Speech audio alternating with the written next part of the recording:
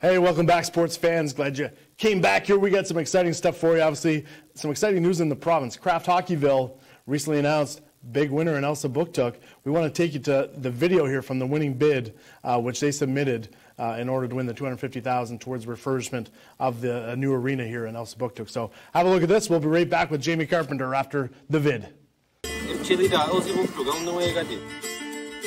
Elsipogtog First Nation is the largest Mi'kmaq community in New Brunswick. In Elsipogtog, it's almost seen as a rite of passage to play hockey. Here in Elsipogtog, hockey is a way of life. The kids use hockey and the arena as an escape from their troubles. The arena and hockey helped us break through racial barriers through one common entity, and that, that is the love of hockey. We spend almost like every day in the rink. It's a distraction to the negative things. Since the fire in September, we haven't been able to use the arena or play hockey. If Elsipogtog won Kraft Hockeyville, the money would be used to repair the damages that were caused by the fire. I'm very proud of our First Nation hockey heritage. I would love to get back in our rink and play, have fun.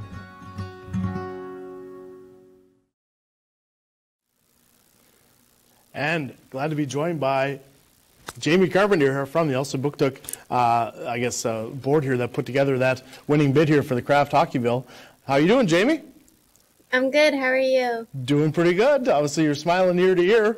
Uh, some congratulations, I guess, and some condolences in order uh, for you. Certainly, our thoughts have been with you guys here the last couple of weeks. Uh, but uh, I wanted you to, I guess, uh, take me back here a little bit. When you guys get that call or video conference from Sportsnet and the NHL announcing that you guys had won the uh, the Kraft Hockeyville. Yeah, so they told us like from when we made top four that we would have to have a spot in place like ready to make the top four, and we are like, wow, where are we gonna go? And then they were like, can we go here? They said no. Can we go here? They said no. Like you need to be in a place because of COVID pro- protocols. So I was yeah. like, okay. And then my aunt Ruth Levi, who's on council, she was like, well, let's go to the band office. They have a big conference room. It'll be good.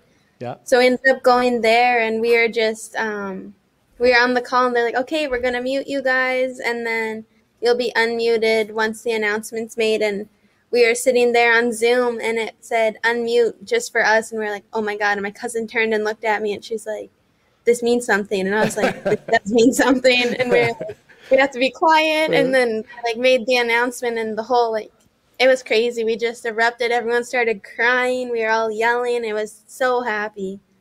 Yeah, and, and like you said, well deserved. You guys have sort of been without, uh, I guess, uh, ice facilities here for a little bit. Uh, but you know, not just a, a financial, you know, uh, input here to the, to the area, but uh, really, you know, something that could save some lives.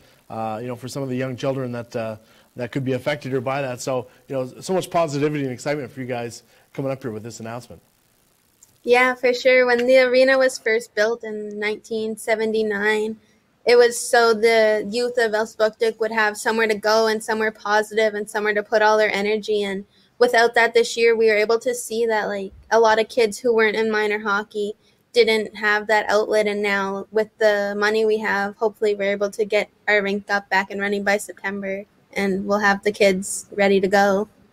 Wow. Well, that's and I mean that's that's you know great news obviously for the kids to be able to be back on the ice uh, at that point. But I mean, I remember even growing up, obviously, you know, Everett Sanipass, uh, you know, being drafted in the first round, playing for Chicago and Quebec. But you know, Evan Levi and Corey Augustine, you know, uh, the Milliers, you know, tons of great hockey players have certainly come out of of that area. And uh, now you'll have a, a rink, you know, back in place, so you'll be able to keep producing some uh, some stud athletes. So uh, a huge kudos to you for, and, and, your, your group that put together that bid. And uh, like I said, if it's anything like the Renous one that was in Renous and Bathurst, so you guys are in for a great, uh, great event because it's, uh, it's first class the whole way. So uh, a huge congratulations to you and uh, look forward to seeing you guys here in the upcoming year when you guys are back on the ice.